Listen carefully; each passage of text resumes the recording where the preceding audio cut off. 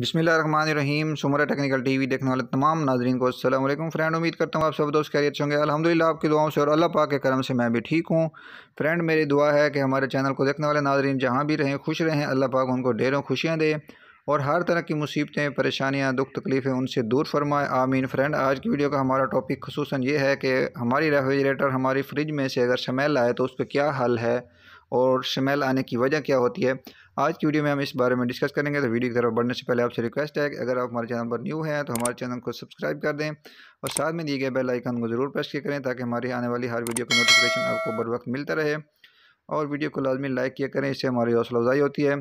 सबसे पहले हम जान लेते हैं कि फ्रिज से स्मेल क्यों आती है। ये देख लें, आपके सामने ये ड्रेन का सुराख होता है, जिससे पानी जो है हमारा डिफ्रास्ट होकर नीचे जाता है। तो दोस्तों सबसे पहली वजह होती है कि हम दूध रखते हैं, दही रखते हैं, उस वजह से नीचे गिरने की वजह से हम इसकी सफ़ाई अच्छी तरह नहीं करते। ये देख लें, इसकी सफ़ाई आपके सामने है, ये दूध गिरा हुआ है और इस तरह से कार्बन वगैरह ऊपर जमी हुई है कालक आई हुई है, मैल आई हुई है।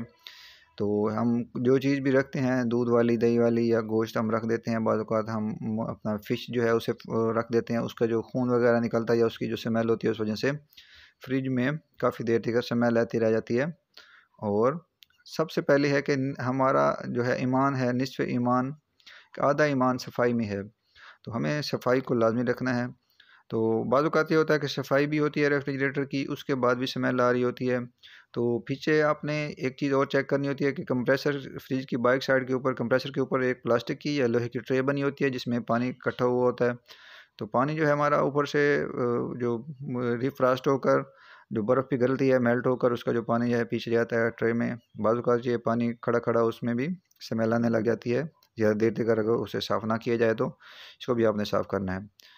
तो उसके बाद भी अगर ये देख लें, लीमू पहले आपने देख लेने हैं। इसको, इस मकसद है मैं आपको दिखा रहा हूँ। ये जो जगह आपको नज़र आ रही है, अगर सफ़ाई भी ठीक है, सारा कुछ ठीक है, उसके बावजूद भी स्मेल नहीं जा रही तो फिर दोस्तों आपने लीमू ले लेने हैं। इसको इस तरह से काट लेना है। तकरीबन एक लीमू के दो से तीन टुकड़े करके आपने फ्रिज के ऊपर वाले पोर्शन में ये जालियों के ऊपर रख देना है, साइडों के जो प्लास्टिक के रैक बने होते हैं, इसमें आपने डोर के साथ रख देने हैं और इधर भी नीचे वाले पोर्शन में भी आपने इधर ही रख देने हैं। तो ये देख लें, इधर ही आपने लगा देने हैं। अगर ऊपर वाले पोर्शन में है तो सिर्फ़ आप ऊपर रखें, अगर इधर हैं तो फिर चीज़ों के साथ इसको भी थोड़ा थोड़ा लीमू काट कर आप इसमें रख दें। तो ये जो है आपकी, अपना स्मेल का जो है बदबू आने का ये आपका मसला जो है हल हो जाएगा। और दोस्तों अगर इसके बावजूद भी नहीं जा रही तो एक और इसका हल है, वो मैं आपके साथ शेयर कर, आपने जो लकड़ी जलाते हैं ना, लकड़ी लकड़ी से एक कोयला बनता है, कोयला लेकर आपने इसी तरह जैसे लीमू रखे हैं, रख देना है, आपका मसला इंशाल्लाह हल हो जाएगा। उम्मीद करता हूँ ये छोटी शेयरिंग आपको अच्छी लगी होगी, मिलते हैं नेक्स्ट वीडियो में, अल्लाह हाफिज़।